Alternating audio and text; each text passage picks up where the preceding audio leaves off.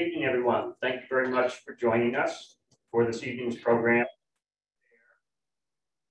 Henry Fair, Nature as Inspiration for Art and Life.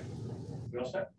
Tonight's presentation is the latest in a series of programs we've initiated in conjunction with our project to open a new permanent exhibit on uh, the art of the Adirondacks. The exhibit, Artists and Inspiration in the Wild, will open on July 1, 2023. Gallery renovations are currently underway, and those of you who've been on campus and seen all the fences and equipment, etc.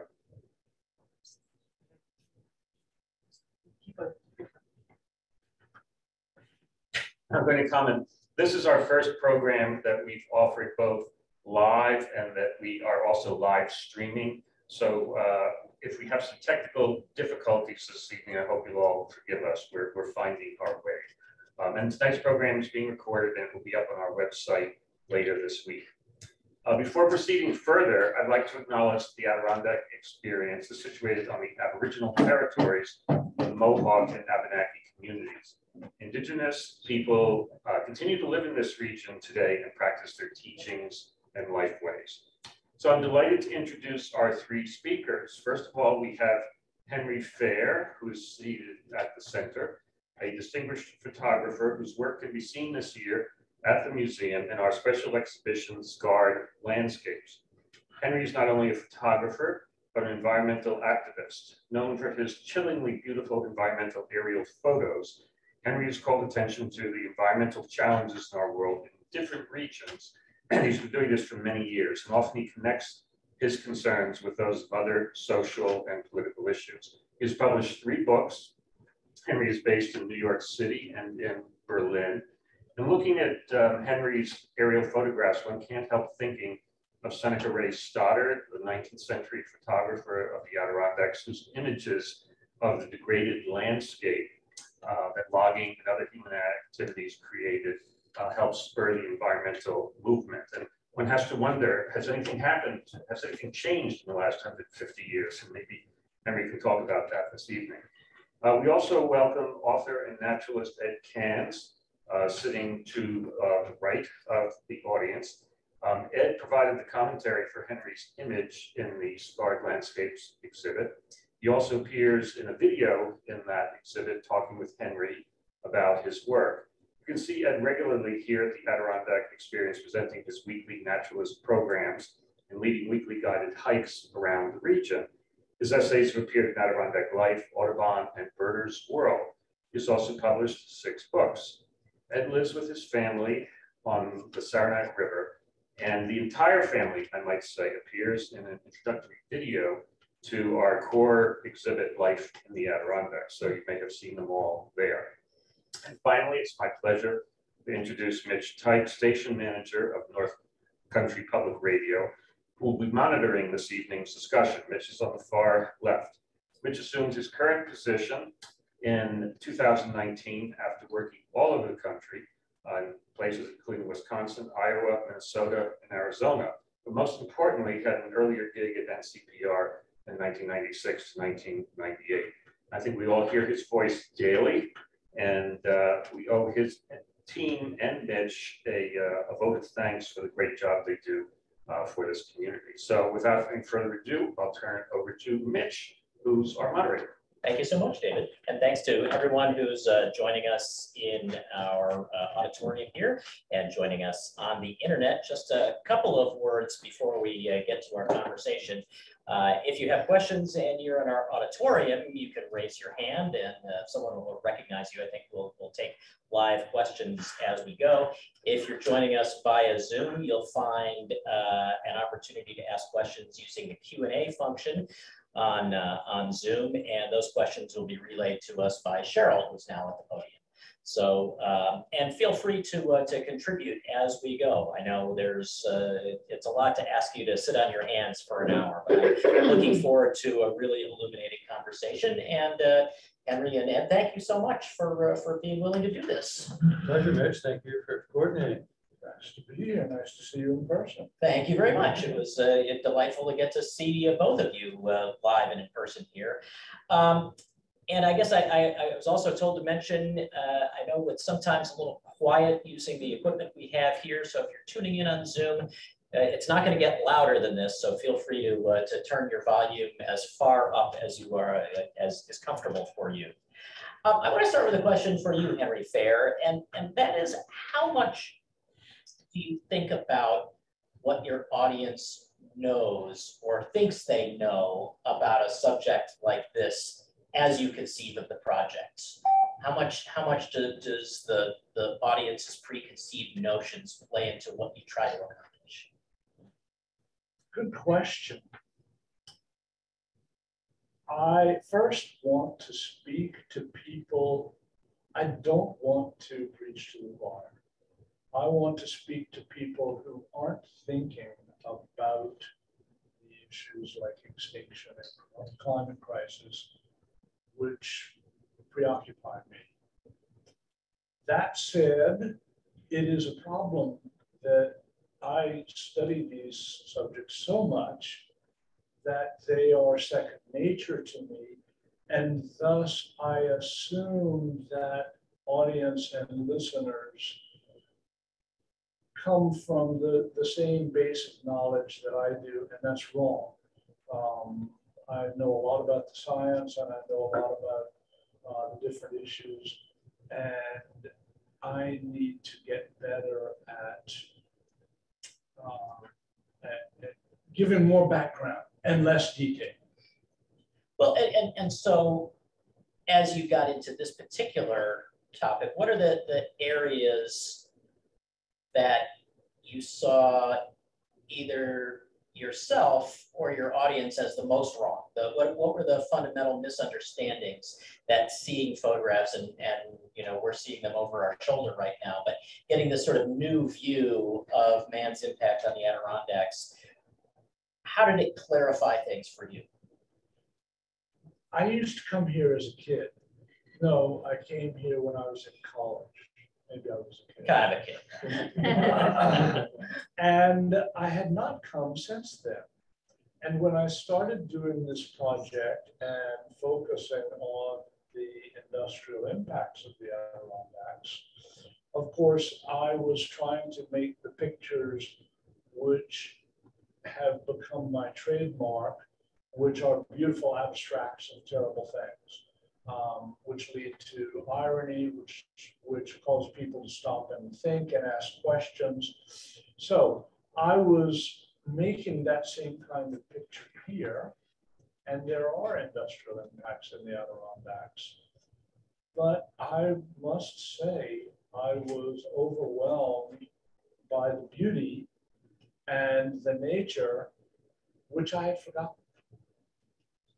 And it, it, it probably surprises a lot of people. Uh, I mean, you take people on nature walks and, and by and large, you're showing them the natural world. Does it surprise people to, to know that there are still human impacts on this area that they're, they're traveling? It does, and it's uh, something that we certainly talk about just about every walk in the woods because we see the, uh, the vestiges of 19th century, early 20th century logging. Everywhere we go, we see evidence of clear cutting, evidence of selective cutting, old growth trees being left here and there. And uh, it, uh, it's the, the, the, industrial history of the Adirondacks is really inseparable from the natural history. And if I can interrupt, Ed, you told me in our previous meeting here a very interesting story about ozone pollution today. So there's still industrial impacts impacting the Adirondacks as we speak, even though many of the industries are no longer here. Yeah, I worked as a park ranger at Acadia National Park uh, for a year and had a very depressing day of uh, air quality training with an air quality expert who worked for the National Park Service. He pointed out that these hazy summer days we get, I always thought the haze was just humidity, but apparently a, a major component of the haze is ozone. And the damage to the leaves of the trees is widespread. You see it everywhere you go. And that's coming up from the industrial corridor of New York, Boston, Washington, or that's Right. coming Yeah, from? ma- mainly from the, the coast, and a lot of it is from automobile stuff. So we like to, we sort of let ourselves off the hook a little bit, I think, sometimes. We think about environmental impacts, we think about those, those big bad people in the Midwest, with the big factories and the smokestacks making all the millions of dollars. But, you know, it's, it's not just big industrial sources of pollution. A lot of it's just coming from people driving to and from work in the grocery store. I'm, told um, that uh, we need to, uh, as my wife would describe me all the time, use our outdoor voices a little more, uh, just to be a little more audible uh, for our uh, for our virtual audience. So uh, I will try to be mindful of that. Um, Henry, you were talking a minute ago about um, the irony that's sort of inherent in this exhibit and a lot of what you do. How important to you is, is this inner conflict between the aesthetic beauty and, and what it represents, you know, the aesthetic beauty of this man-made stuff and what it really represents, which is destruction. In fact, it's essential to this body of work because the pictures are, are graphically beautiful. But yet, when we take that second look, we understand that it is something horrible. And again, without that irony, that double take, we would stop and consider it. And again, I'm looking for I'm looking for the unconverted. I would rather I would rather somebody who doesn't believe the science in climate crisis to stop and think about my pictures than someone who does.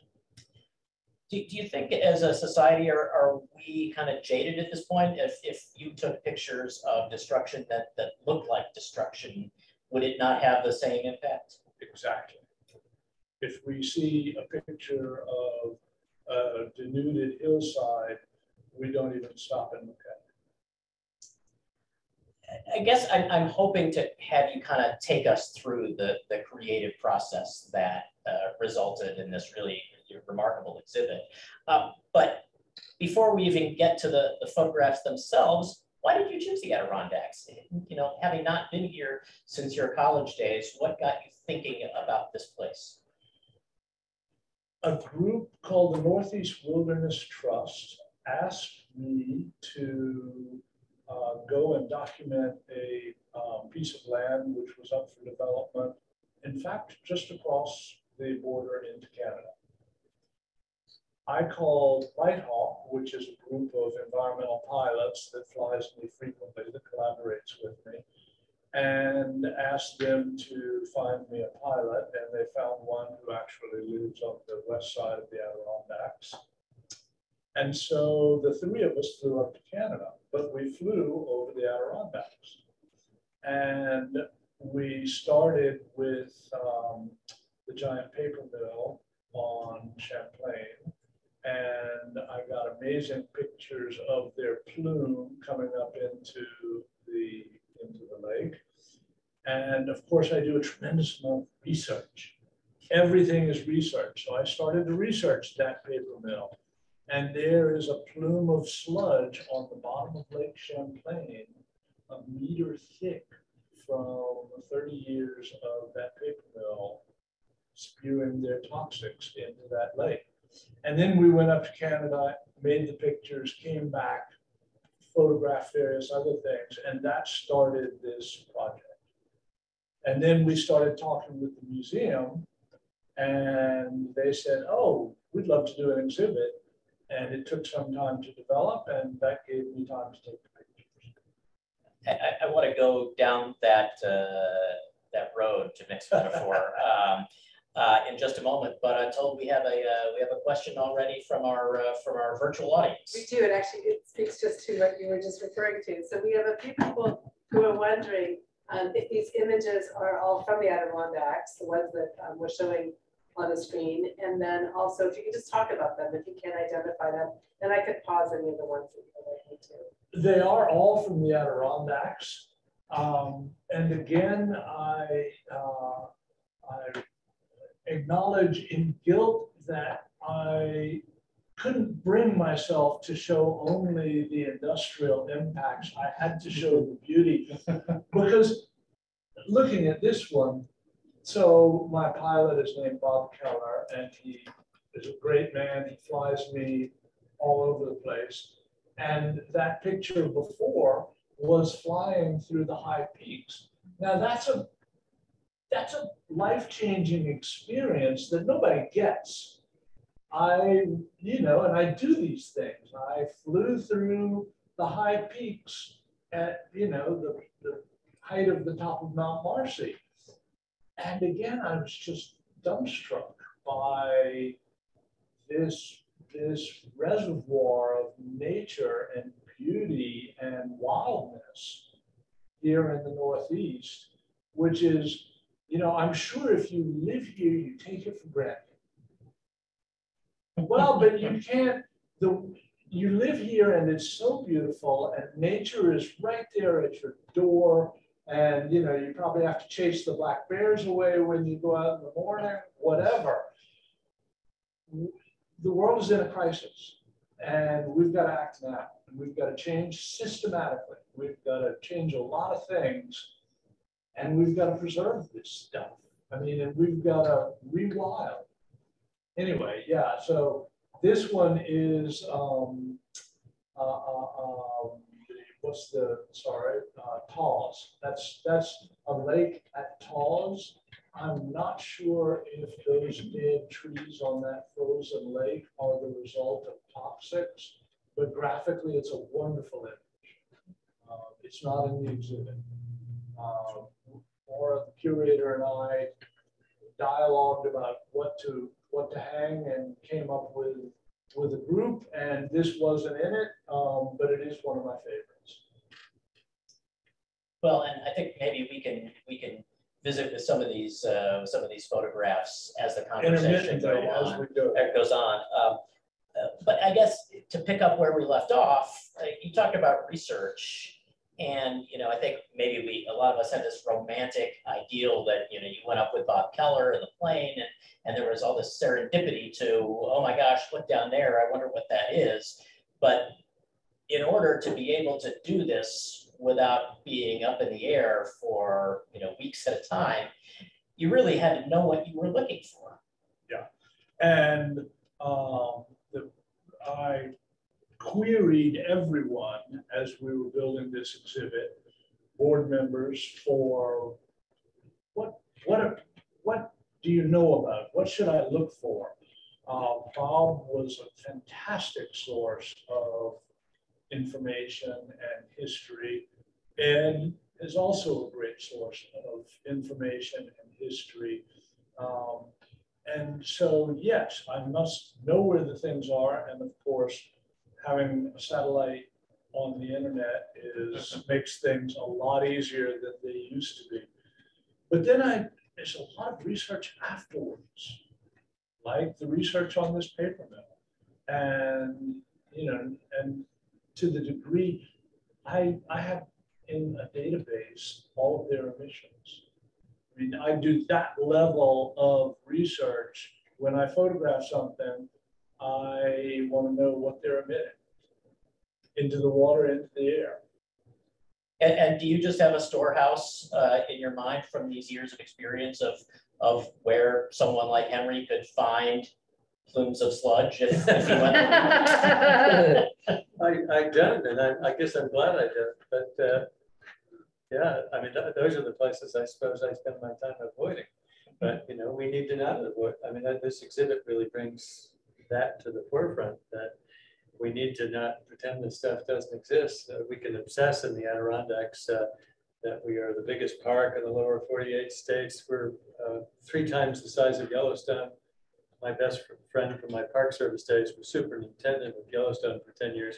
I used to tease her that my park was three times bigger than hers. But, uh, You know, the Adirondack region is not all about beauty and wildness and preserved land. It's, it's also, uh, there are lots of stories to tell and we need to tell them, so we pay attention to them. So we change our ways about impacts at the individual level, industrial levels. And, and uh, this, this exhibit is just cracking that whole subject wide open. And Thanks for doing it.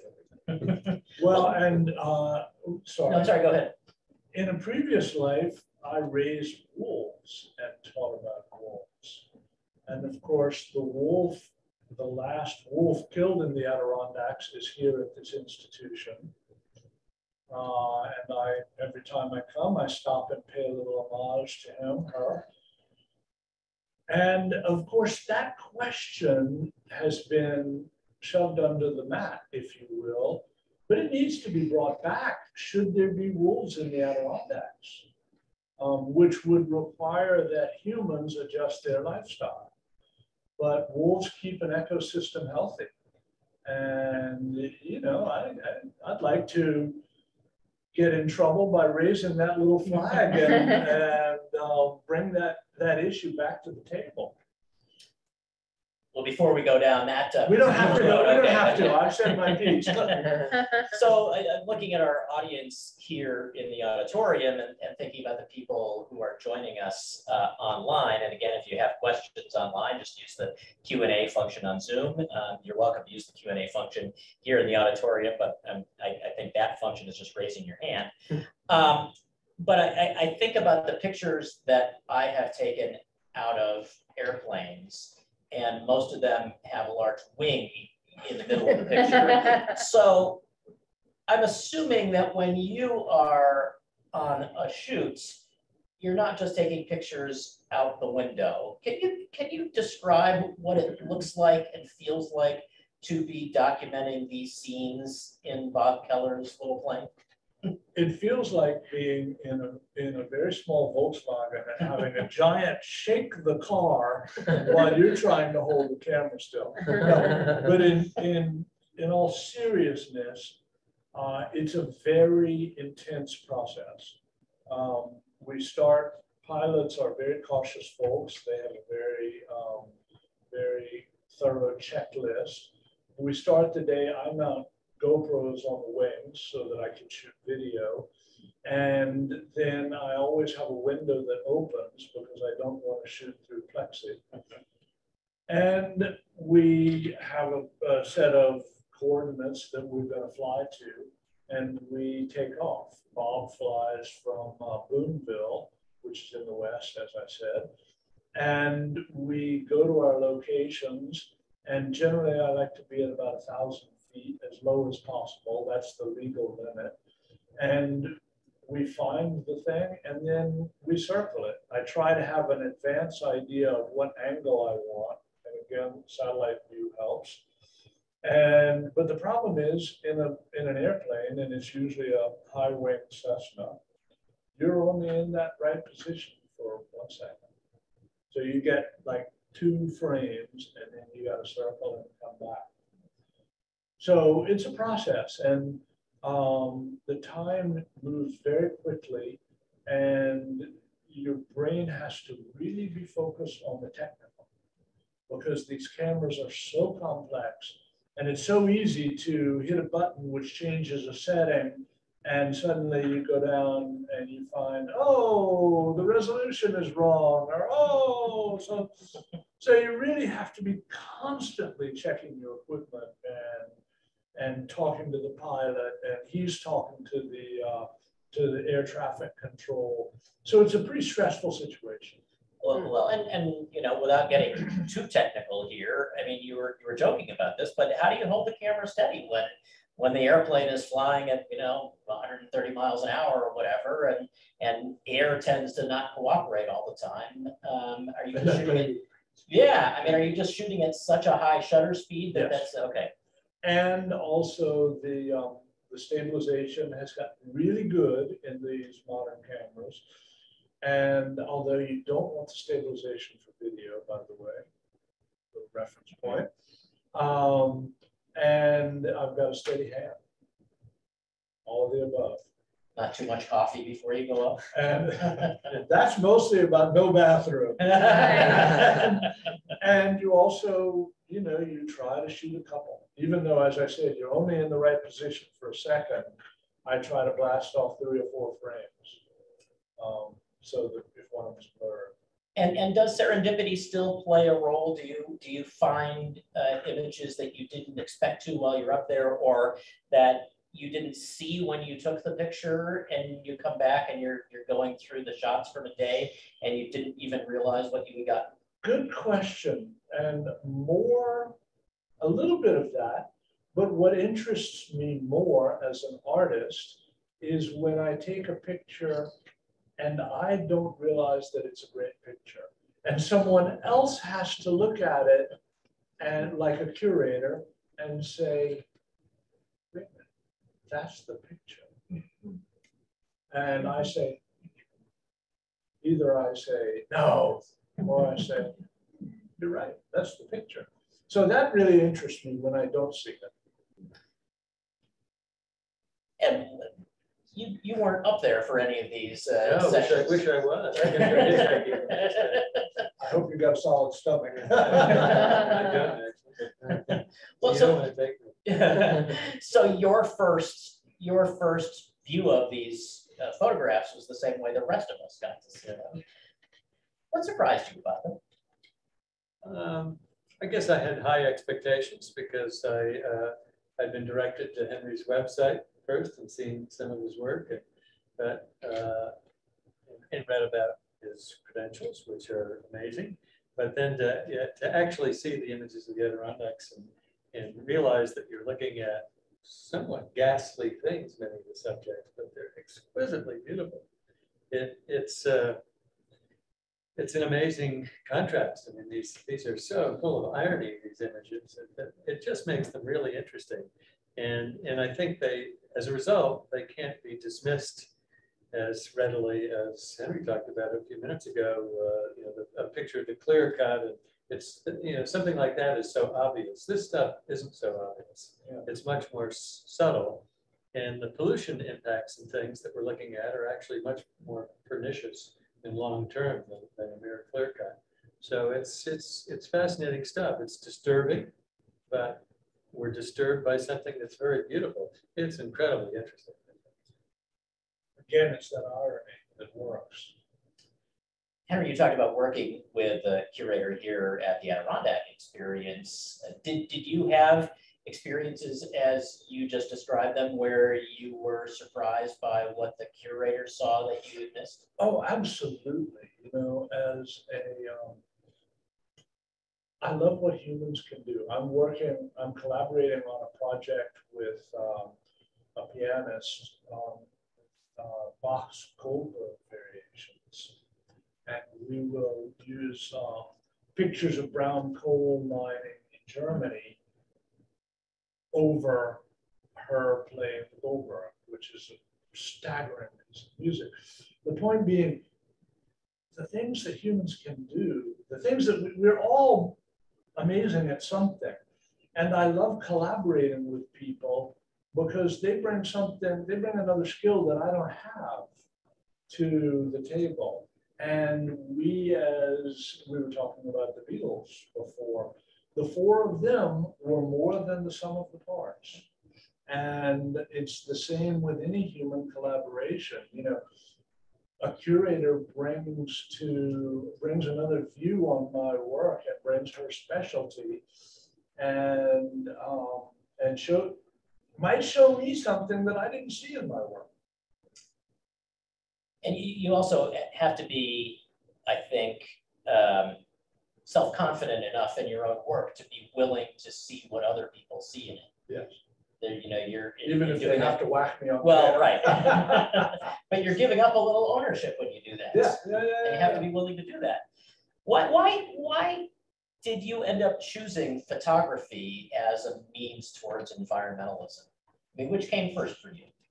Photography came first, but I've always been.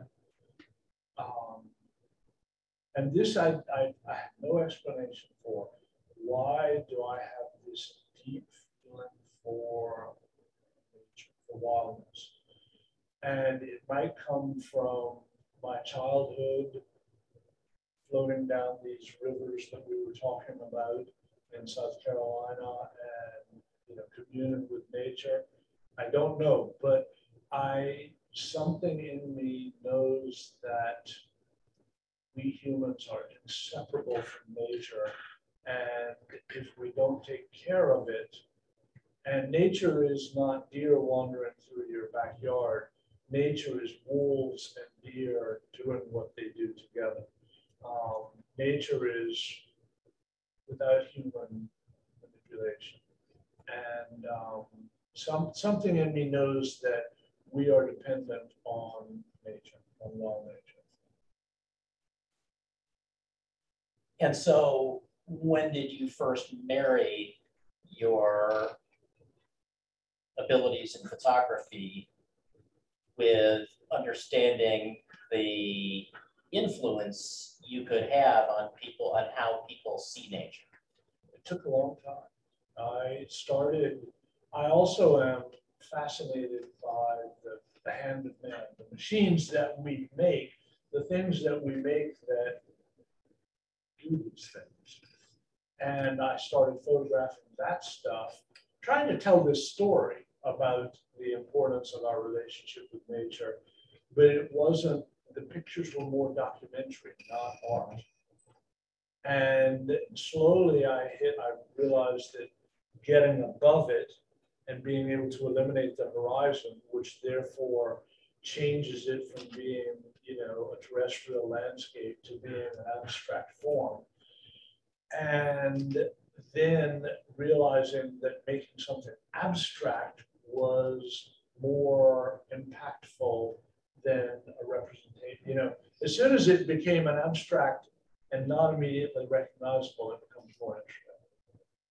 I wonder if we want to take another, take a look at another uh, photograph here, or I can give you a moment to bring one up. Um, I'll go ahead and bring them up. We have had a lot of people asking to specifically talk a little bit about each one and to Okay. the question of where they're from.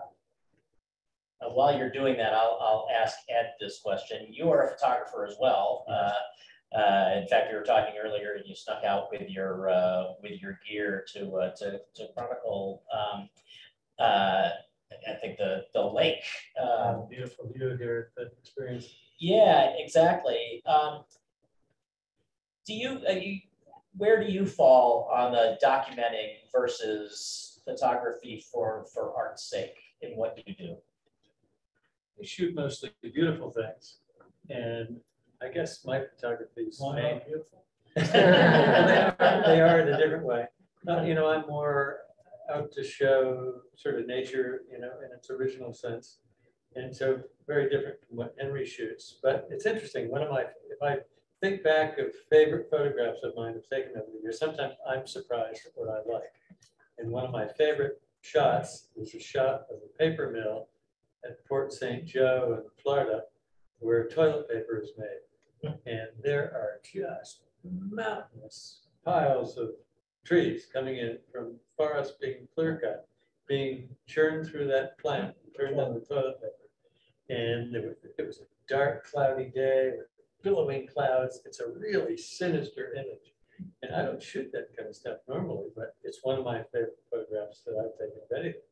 So, uh, uh, so I'm always open to serendipity. I, I guess I shoot the ugly sides of nature. I, I post my photographs twice a week to, to a lot of people. And uh, if I photograph a, a, pre- a predator feeding on a prey, I photographed a, a, a garter snake eating a, pickerel frog in, in a marsh at the Paul Smith Visitor Center one time. And a lot of people found that image quite objectionable. I got complaints about my posting of it. But, you know, we need, we need to see the good, the bad, We, the ugly. well, but that's, that's a, you know, that for me, the interaction of predator and prey is, that's That's nature at work. Yeah.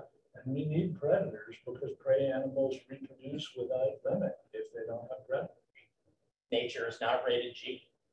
Nature is not rated G and nature is a balance. And um, again, working at a wolf center, I, I've learned all this stuff in detail and, and it's so important. Yeah. And Let's, let's talk about this photograph that's, uh, that's behind us now, because I think if people didn't know the context, you might look at this and think it was a close-up of a Douglas fir. Yeah. Well, and that's one of the best ones in the exhibit, and the curator Laura picked that out, um, and I'm glad she did. Uh, to see the print, it's really stunning because the amount of detail, it's, it becomes an infinite uh, variation, like Goldberg variations. Sorry, uh, got rock on the brain, and um, to see it in the, it, it doesn't do it justice here. You've got to see the print in the exhibit. It is the, um, the tailings from the Garnet mine. And, um, they're being, there's a giant machine with an arm, which is dribbling them out. And it's just dribbling down a hill and, and separating into these, uh, thousands of different rivulets. One thing that we, we don't necessarily, and, and maybe this is part of the point, there's not a built-in sense of scale here. We have no idea what square footage. Correct, and I do that purposefully, obviously, because again, if we can create an abstract, it becomes more interesting. Right. Just by virtue of no, no physical reference, we look at it and try to figure that out. And, you know, before this one, two, two, maybe two images before this one, um, was a picture of, uh, and again, I have to credit, oh, there's the machine. You can see it dribbling the, um, the overburden. Um, it was a picture of Low Lake. And again, I credit my pilot, Bob, yes. Because he guided me to this place, which wasn't on our agenda. And it's in the Western Adirondacks. It's not as glamorous as the high peaks, but it's stunningly beautiful. And somewhere in here should be a picture of one of the bog islands which floats in this lake. Um, it's a it's a living island of organic matter. Obviously, this was in the very early spring, and yes, there it is. And the um, deciduous trees, yeah, it's an Indian head, isn't it? I It looks love- like Australia. Yeah, I love seeing anthropomorphic shapes in, um, but that is a living, that is an island of living matter in Low Lake. Uh, the, the, you know, we've got the lights on, which the, the color is not so rich as uh, one would like it to be. This one is also not in the exhibit because the exhibit was about the environmental impacts, not about the beauty. Let me stop you for one second. How, how much time are you spending with each subject? I mean, you weren't, we're doing, it's not one day per photograph, right? I mean, No, we fly with an agenda. We fly from a given field wherever either Bob comes and gets me. Bob is my pilot that I work with in this area, but I have pilots all over the world. Um, we fly from a specific airport and we have, usually before we fly, I've already given him a set of GPS coordinates um, with a description and he loads them into his onboard GPS unit. But um, we're old friends, and Bob knows that I love the history that he knows, and so this was a, a detour. And we, it wasn't much of a detour. We were on our way up to Massena, and um, he showed me this lake, and we've flown over it twice now because it was so beautiful the first time and it was winter still or at the end of winter. And then when we flew again in the beginning of spring, I said, oh, let's go over Low Lake. and um, so, yeah, it's, you know, it's, we have an agenda, but, but then we also, you know, then luck plays a champ, plays a role. It's interesting, as you probably know, Henry, but Lows Lake was created by an industrialist. It's not a natural lake. It's I didn't know. It's held back by a dam. And- and, Yes, uh, I think I knew that. Well, or did I? No, I didn't. Augustus Low, who had more patents than anyone in America, other than Thomas Edison, uh, years ago. On what? Well, all sorts of different things, but I think is he, he was trying to create uh, an industrial scale maple sugaring empire that part of the Adirondack. Built, built two dams and had his hydro power for the village, and his workers. Wow. Built himself a big house. and- But today it's a beautiful It's wild just a area. beautiful lake. It's, uh, you know, one of the quintessential places where canoeer, canoers uh, go and and kayakers to have the, the great wilderness experience, but the, the wilderness that they're seeing is a man-made wilderness, so. Well, and that's a, Why are- why that's a relevant point, Yeah. which is that we can't go back. Right. We must go forward. And um, the Adirondacks is not the same as, as our forefathers found. Um, but at the same time, it is amazing. And we need to, you know, wolf. Uh, We do have a question here in, in our studio audience. Yeah, if we're all walking in nature, we don't have to get it from the camera onto paper, but your prints are immense and the color is extraordinary. Do you mind giving us some technology, how you get it from the camera onto the sheets? Well, I'm, um, if I can humbly say, um, I like to think of myself as a master craftsman. For me, art requires mastery of craft, which is a bit of a curse of mod, the, the, the modern technology of photography, because anyone can go buy, um, a, a high-end camera and that camera will do all of the technical things for you by and large. You don't need to know what I had to study so many years to know. How to expose, how to properly expose film, et cetera, et cetera. What's an aperture? What does it do? What's the relationship between that? Okay, fine. Um, I'm using high-end digital cameras uh, because they are better than film ever was. I mean, you were in there in the in the exhibit hall, so you saw that picture of the dribbling infinite variations. I think I called it, and um, we could never get that with a film. You would have to the film camera that could make that kind of reproduction would be a camera like this, and they use them for aerial photography, but you couldn't have gotten what I got with one of those giant. We called it an eight by ten large format camera. So I'm using a high-end digital camera. The brand doesn't really matter. Um, and I'm very good at holding, at being steady, um, as we discussed. But then in post-production, Photoshop, if you will, but it was the darkroom. Um,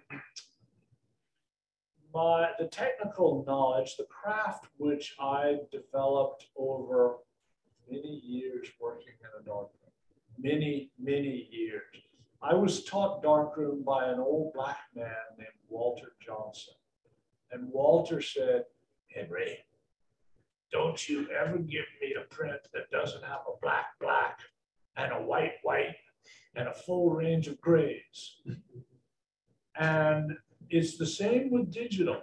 If you don't have a pure black and a pure white, then the image won't have a full range of grays or colors. And that's what you've probably seen the histogram. Somewhere you've seen it, the, the graph that goes with every picture. It's, it's a little graph that's usually in the corner of your camera viewfinder or something.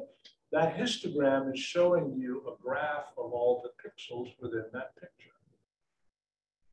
And you get that same graph in Photoshop and you can, I don't even look at a picture as I'm adjusting it in Photoshop. I'm going by the numbers, by the graph. And I want to see a black, black and a white, white and a full range of tones in between. And then I, I do the same thing when I send it to the printer. Um, I don't print those at home. I, have got a small printer, not a big one. They're printed at a lab. And I do a test print. And I'm very rigorous at how I want my prints to look and then I do the final print. Um, and these are printing uh, traditionally was um, was a silver chemical process. Um, those it's it was called C prints, you know, where you actually went into a dark room and you had a light sensitive paper. Now it's almost entirely inkjet prints. C prints work. Um, you can hardly find a C-print lab anymore, and that's probably a good thing. There's a reason why Rochester is one of the most toxic places in America. There's a reason why Love Canal is near Rochester. Yeah, I won't mention any names. Um, but it rhymes with Modak.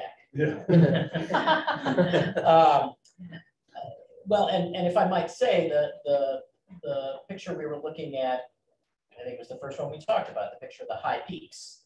Um, That your, your approach to black blacks and white whites and infinite variations of grays and, and other shades in between really comes out in that image. Because if you don't have a black, black in any picture, if you don't have a black, black and a white, white, then, and white, white means base paper, and black, black means hundred percent black. Then if there's no black, black, it won't look rich, and if there's no white, white, it won't look snappy. So, thank you, Walter Johnson. There's a lot, oh, we just jumped, if we could go back to the previous, there, there's, there's a lot of gray in this uh, image, uh, but the shadows are really black, black. What are we looking at here? You know, I'm flabbergasted by this image. It's at Tahawus. Someone clearly arranged these piles of material. I mean, we can see uh, tracks there from a um, bobcat or something. Why did someone put these, these things in this, in these regular piles?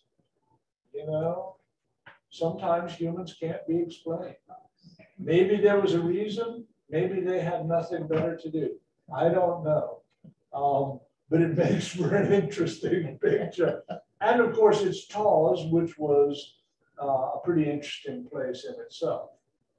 Um, I'm told Tahawus was, and Ed, you probably know this better than me. I always thought it was lead, but it wasn't lead. It was um, titanium.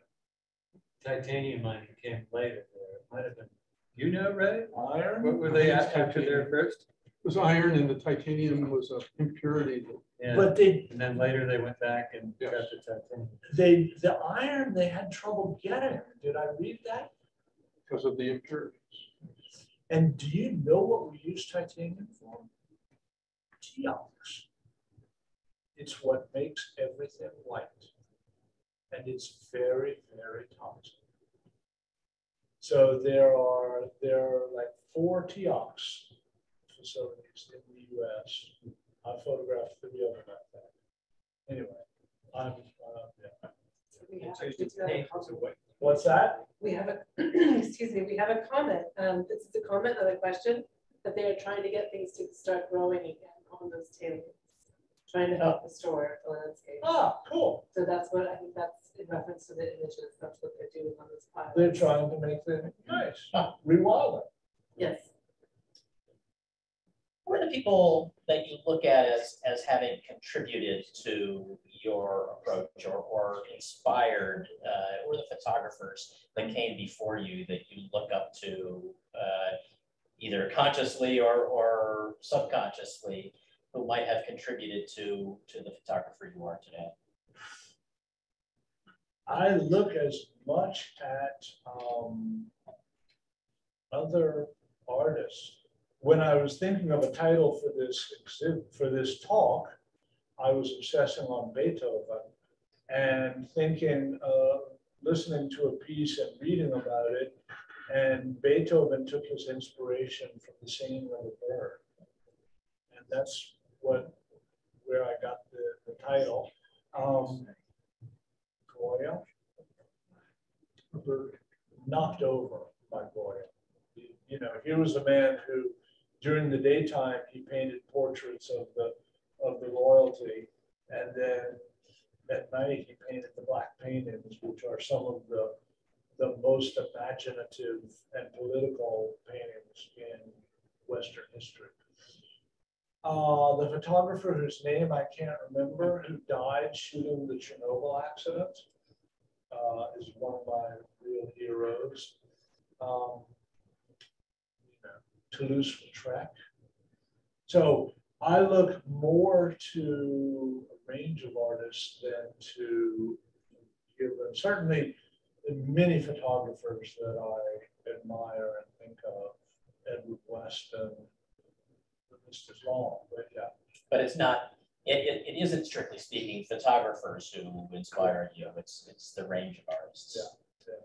Um, we probably have time to talk about one more, uh, one more image here. And this you might, you know, again, without the, without the context, one might think that this is a close-up of capillaries.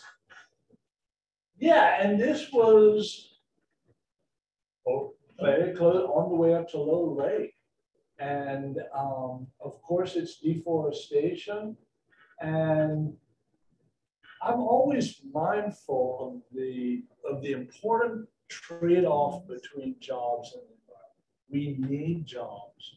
We have to give people gainful livelihood, or else society will break down.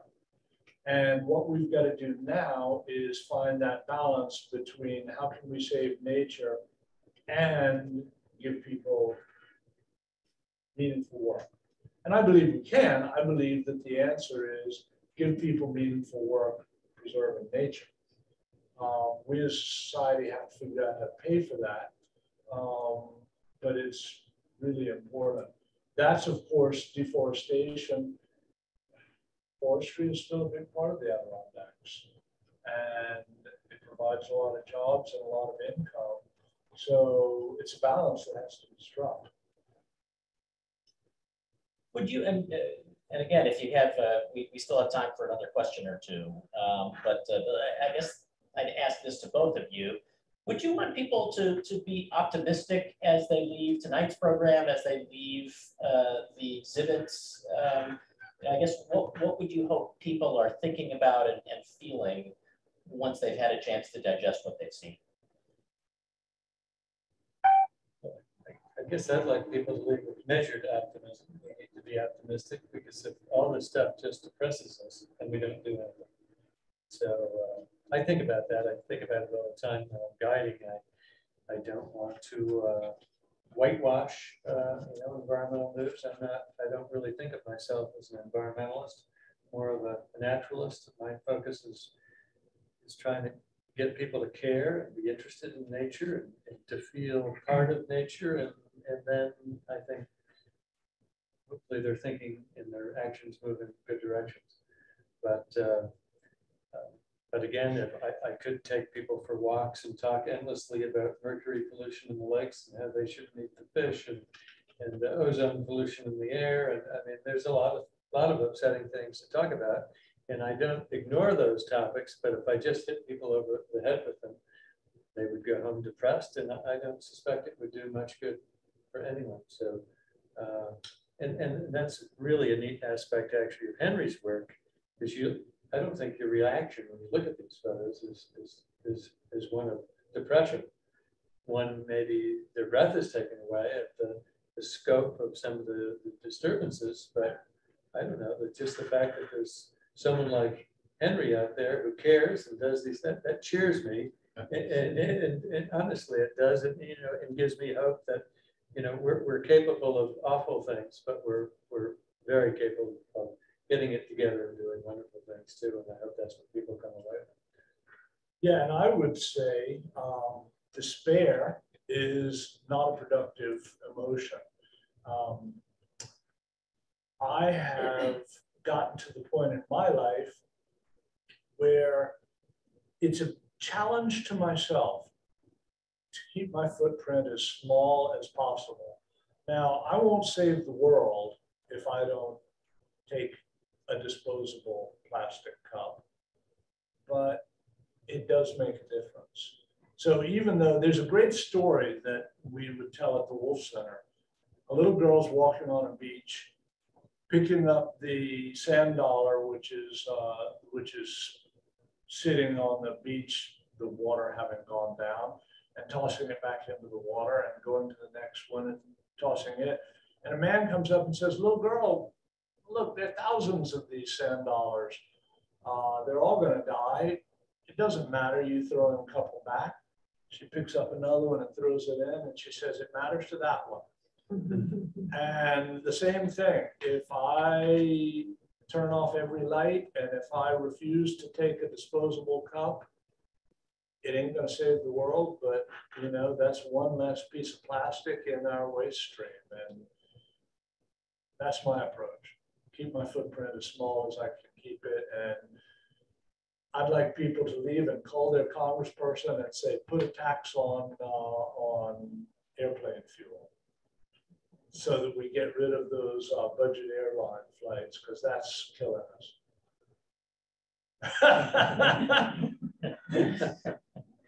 Any last questions? And Yeah, no, we have two. Okay, uh, let's go, we'll go to the front row and then the second row. I think uh, climate change is one of the big, or the big environmental issue for the future for the Adirondacks. And if you thought about how you could document that, it's more of a trend. It's not necessarily something you can see happening immediately, but And of course, what you, you know, when we think about it, it's a very good question. What's the picture of climate change? Is it, is it the polar bear on a melting, uh, on a melting iceberg? Um, and in fact, what I photograph is the making of climate change. So whether it's coal, which is one of my big topics, or airline flight, the ninth largest before COVID, the ninth largest carbon emitter in Europe was EasyJet. All those Europeans taking their holiday trips on budget airlines, and we have the same problem here. Um, you know, now that we all fly everywhere, it, it's killing us. It's killing, that's climate crisis. Um, You have qualms about going up with Bob Keller to take these photos? Uh, yes, I take the train to see Bob. Um, and he picks me up, at, I take the train everywhere when I can. Um, yeah, I think very carefully about my carbon footprint and how to keep it as low as, hey, I just flew back from Europe. I am guilty. We're all guilty we got to figure out a system that we, that works instead of one that doesn't work. You Also, in answer to Ray's question, one visual thing showing climate change, which you could photograph, and maybe you have already, but just a big change in the twenty-three years that I've lived year-round the Adirondacks. and It used to be very common, lakes around here held their ice into May. Fifth of May or so ice out, maybe even the tenth of May some years. And now commonly, we lose our ice on lakes in the middle of March. Wow. That's, that's very visual. And that's, that's a big difference. That's a huge difference, and that certainly can be seen from the air. Yeah. But it's, you know, that's a big question for me is how to photograph climate crisis.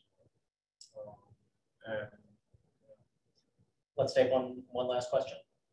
you, in the blue, you had a question. Yeah, um, it's actually, it's a, wo- I- uh, it's a worry that by, um, in a sense, you're creating art and beauty out of environmental degradation. And I wonder if you worry that provides kind of an excuse for industrialists.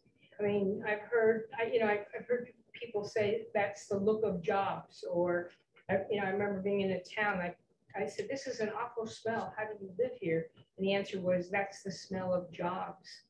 And so I, I worry about that, and I wonder if uh, you bumped into that at all. Well, and we, we touched that issue at the beginning. Um, if the pictures weren't beautiful and if they weren't ironic, people wouldn't stop to think about them.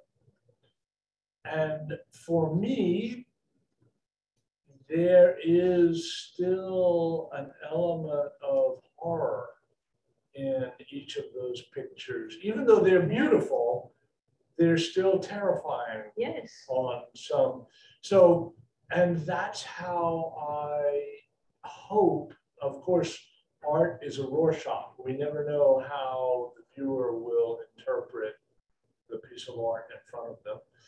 Um, but my hope is that the viewer will feel the horror that's in each of those pictures, as well as the beauty. And thus that irony, that double entendre will hold their attention. Mhm. Well, and, and I wonder if, you know, there's, there's kind of a false dichotomy at work as well, that, that, you know, that there are these infinite shades of gray, that it's not either you have this smell or this beauty and these jobs, or you don't have the smell and you don't have jobs, that there's, there's a way to have a better smell and still have jobs, or there's a way for there to be beauty and still have jobs as well. Well, Civilian Conservation Corps, let's, yeah, I mean, and thank you for that. It is a false dichotomy. Um, we need jobs, we need work for people, meaningful work. But, um, let's put those people to work cleaning things up. And we also need jobs that are sustainable. I live in a little town called Bloomingdale, which at one time was one of the bigger towns in the Adirondacks. It's commonly said it was big, bigger than Saranac Lake, which is the biggest town in the Adirondacks today. And uh, you could smell jobs in Bloomingdale hundred years ago. You know, they were cutting the trees down. The old growth forest was coming down. You walk in the woods, it's pretty much all second growth and and uh, and Bloomingdale was a big town, big boom town at one time. It had a traffic light. It doesn't, doesn't have one today. It had a shopping district. It had lots of stores. It, it was a popular place with a substantial population. But, uh, so there were jobs, but the jobs didn't last. The resources were removed. Then what? So uh, I think that's, a- that's a key thing too. Are we, are we in it for the, the short game or the long game? And I think we're, we're realizing these days that we need to be, we need to be thinking about the long game much more than we ever have. And resource, having photographed a lot of this, I think to um, the coal mines in West Virginia, resource extraction tends to impoverish the places where it's extracted. And again, I photographed coal mines and, and old dead coal mining towns in West Virginia, which were once thriving communities. Well, I'm going to turn things back over to uh, Cheryl in just a moment to uh, let people know what uh, programs are coming up at the Adirondack Experience. But before I do that, let me uh, say to Henry Fair and Ed Kanze, thank you on behalf of everyone in the uh, audience tonight. Thank you so much for, uh, for a wonderful conversation. Thank you. Thank you. Thank you, Mitch. Thank you, Henry. Thank you, Ed. And thank you to everybody both here at the museum as well as watching us on Zoom. I do appreciate everyone's patience. Obviously, um, this is our first hybrid. There's a little bumps along the road, but we really appreciate everybody sticking it out. So I do want to let you all know what we've got coming up. Um, for the Artist and Inspiration Series, we do return to fully Zoom programs beginning in October. So please join us on October 24th, and we'll have a program, another moderated discussion focused on Adirondack architecture. For those who are still in the region or still able to come to the region, we have two outstanding last special events for our regular 2022 season. On September 24th, we're bringing you a new event, Experience for All, which will be free for all visitors. It is a celebration of inclusive um, outdoor recreation. Um, we'll have an expo, of hands-on activities, demonstrations, and we're really excited for this program. And our, um, our final event of the season is everyone's favorite Fall Fest, October 2nd, a very family-friendly event, um, a great way to close out the season in the glory of fall. Um, and so we do hope to see you for that. And that event will be free for all year round Adirondack residents. So thank you again. Um, we'll see you on Zoom. Thank you very much to our speakers. It was great to close out um, our in-person evenings with this wonderful conversation and, and Henry and Ed Mitch leading the charge. You all were fantastic. Thank you so much. Thank you, Thank you.